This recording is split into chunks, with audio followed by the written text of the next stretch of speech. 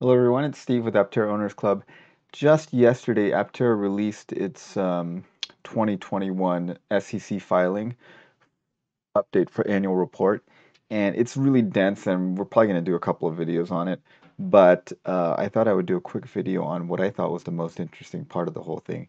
And in there, they had an exhibit, which was their technology license agreement with Chery Automotive. Um, and so this was dated back in January 13 of 2022, but you know they just announced it like last week. So this had been in effect for several months by the time they announced it um, on their news page.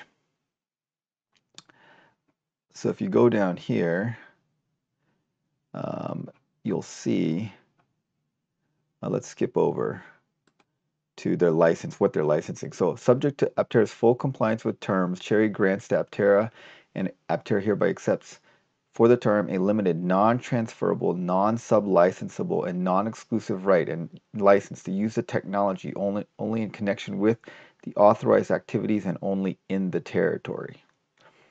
Okay, so what do they mean by authorized activities? So if you look here, what do they mean by authorized activities? It means carrying over and modifying the applicable part for purposes of Aptera business activities and the territory is North America, South America, European Union, South Africa, Australia, and New Zealand. So basically, it does not include any Asian countries. So um, Chery is limiting them out of the Asian countries, so out of China, out of Korea, out of Japan, you know, um, and all the Asian countries. Um, I guess Chery wants to keep that market for themselves, and perhaps they are, this is just total speculation. Perhaps they're engineering something by which Chery Automotive would handle the manufacture and distribution of Aptera should they want to expand into the Asian countries. But Aptera will license their technology for North America, South America, European Union, South Africa, Australia, New Zealand. Now, which was funny because when we first heard this news, we were wondering if um, Chery might take Aptera's technology. It looks like what's happening is Aptera is licensing Chery's technology. So it's kind of the other way around. Aptera may sub-license the technology to suppliers of applicable parts to, each, to such extent that the suppliers require and solely for purpose of providing components or parts of the applicable parts for Aptera solar electric vehicles. So they're saying um, Aptera can give the technology and licenses to subcontractors uh, to supply parts for them to the specifications. All right.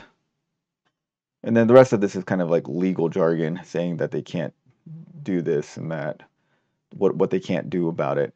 And then they also talk about how they're going to deliver it. They're going to deliver it um, via electronic transfer or team center system, the relevant tech technical documentation, which are set out in Schedule 1 and I looked for Schedule 1 and Schedule 2, and it is not released on SEC's thing, and I cannot find it. If we could find Schedule 1 and Schedule 2, we would know exactly what they're getting from Chery, but we do not know that at this point. So we have to, we can only speculate on what's going on. Um, and then the liaison person for Chery is uh, someone named Fu Fu Mei, and for Aptera, it's Matt Bachman. And if you remember, Matt Bachman is this guy, lead engineer. So this is Matt Bachman. And then payment terms. This is uh, where we figure out how much Aptera is paying them. Aptera is paying Chery Automotive $2 million. It'll be divided into four equal installments of half a million dollars. So what happens is, is within five days of the execution of this agreement, they have already paid half a million dollars. So this was executed on January 13th. So they have paid them 500, a half a million dollars already. Then when the technical documentation has been issued, they get another half a million dollars.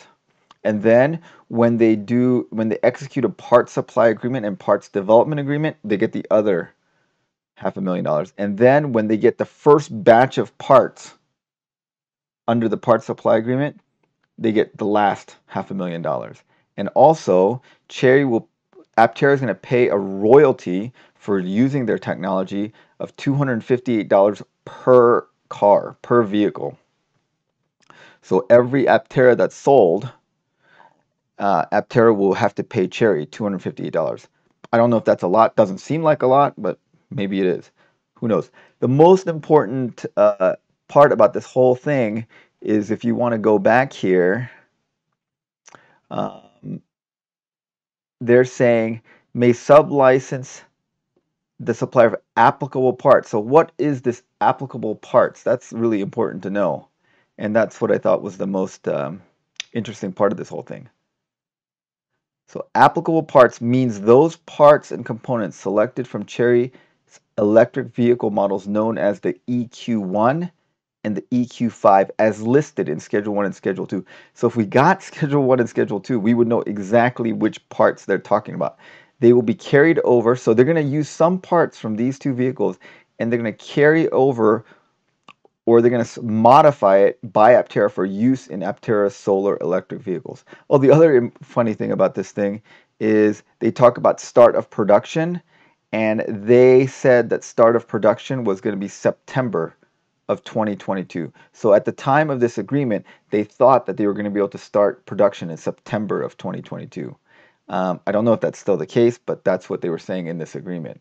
All right, so what is the EQ1 and the EQ5? So I looked it up, and this is what it is. This is the EQ5. It's a very standard looking small kind of crossover vehicle. I'm going to X this out here. Um, then, and this is the EQ1. So it's a very tiny, like kind of a, almost a smart car looking thing. See, it's it's really really tiny.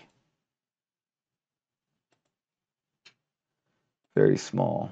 I think this is a two-seater, but it might be a four-seater because sometimes these these tiny cars are four-seaters.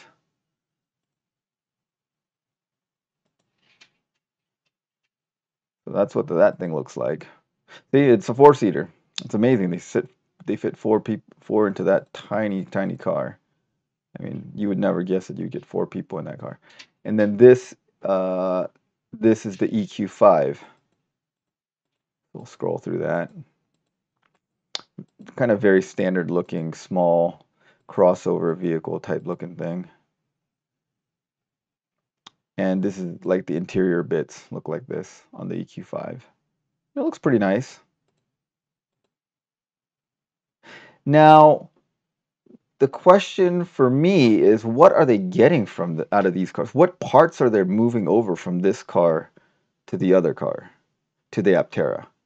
Um, so the Chris Anthony said that the big component subsystems are going to be the front suspension, the rear suspension, the body, the closure system, the interior system, and the battery system. All right, so pretty sure it's not the body because the body is totally different. So it's not going to be the body. I don't think it's either the front or the rear suspension system because the the suspension system is going to be totally different than the, between the Aptera and these cars. So we're left with the closure system, the battery system, or the interior system. Now, I don't think it's the closure system because the closure system is the door subassemblies. And the doors of these cars are nothing like the uh, butterfly doors of the Aptera. So I don't think it's the it, I don't think it's the closure system. So we're left with the battery system or the interior system. Um, now it could, so I don't know which of the two it is. It could be the battery system, I guess.